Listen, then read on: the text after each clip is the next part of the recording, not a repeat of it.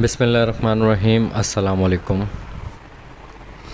दोस्तों, कुछ कैंडिडेट्स हैं जो बिलो मेरिट वाले हैं तो उनकी रिक्वेस्ट है और 490 के जो कैंडिडेट्स हैं जिन्होंने अभी इंटरव्यू देने हैं तो उन लोगों ने रिक्वेस्ट की है आप सब दोस्तों से, जो 480 के कैंडिडेट्स हैं, जो 403 के कैंडिडेट्स हैं और 470 के कैंडिडेट्स हैं जो पास हो चुके हैं, जिनका लिस्टों में नाम आ चुका है।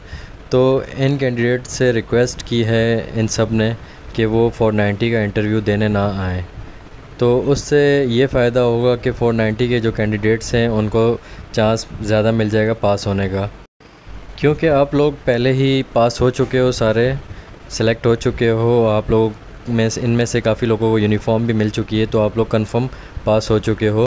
इसके अलावा जो एसएसयू में बिलो मेरिट में जिनका नाम आया है, उन कैंडिडेट की भी रिक्वेस्ट है कि जो एसएसयू में पास हो चुके हैं और उनका नाम अगर 480 में भी आया है तो वो एसएसयू को स्किप कर दें ताकि बिलो मेरिट वालों को चांस मिल जाए।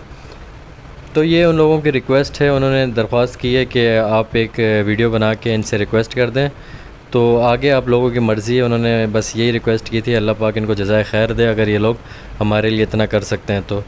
बाकी आप पे कोई दबाव नहीं है, बाकी आप लोगों की मर्ज़ी है, आप जैसे करना चाहें आप करें, आप इंटरव्यू देना चाहते हैं तो दें, आप एस एस यू स्किप करना नहीं चाहते तो वो भी आप लोगों की मर्ज़ी है, सिर्फ़ इन्होंने रिक्वेस्ट की है आप लोगों से, क्योंकि स्किप करने का ये फ़ायदा होगा कि अगर आप फ़ोर ज़ीरो थ्री में जैसे सेलेक्ट हैं, पास हैं और आप फ़ोर एटी में भी आ गए तो आप फ़ोर एटी ज्वाइन करेंगे तो एस एस यू को स्किप करेंगे तो एस एस यू में जो बिलो मेरिट हैं, उनको आपकी जगह चांस मिल जाएगा सेलेक्ट होने का।